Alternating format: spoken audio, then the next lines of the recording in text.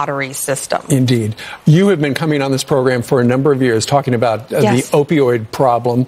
Uh, when the President of the United States made the big announcement last week, you were there as well. Yes, yes, and thank you for talking about that. President Trump cares so deeply about this, and it's an epidemic. It's a crisis in our country.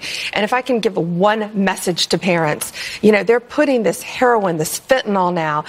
Seven grains practically of fentanyl can kill a child, but they're putting it in pills like Xanax or Adderall that kids are buying to help them study and concentrate. But they're not getting that. They're getting heroin, they're getting fentanyl, and they're getting it's cheap. addicted. It is so much cheaper. It's cheap, and the dealers are selling it to them fast and easy for two dollars the first pill to get them so addicted. So you got to tell your kids. Kids are a lot of kids are getting addicted without knowing they're intentionally taking it the first time.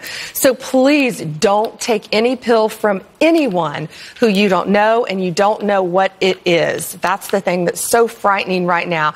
But but we've got to attack this. I just finished the mm-hmm. president's commission from from law enforcement. I'm firmly firmly believe in, in protecting our borders and stopping the flow of this, as well as education, prevention, and treatment, which is crucial. You know, years ago, uh, there was a certain shame with saying, you know, somebody in my family Right. hooked on drugs.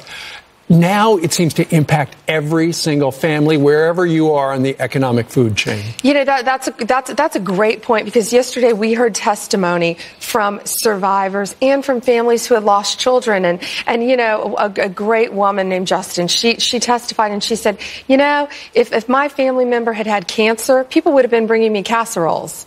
But Right. not because my child overdosed from heroin. Wow. And that's the stigma. It's, it's a disease, it's a sickness, and we've got to help people in this country. Because you've been helping the president with this. Yes. Any uh, possibility you might be the new drug czar?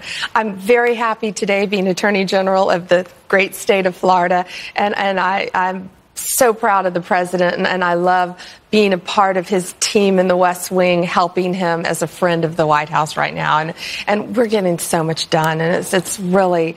I just love helping people. All right. Well, thank you very much for dropping by today. Thank Attorney you. Attorney General for the great state of Florida, Pam Bondi. Thank you. Well, you just heard her take on the diversity visa.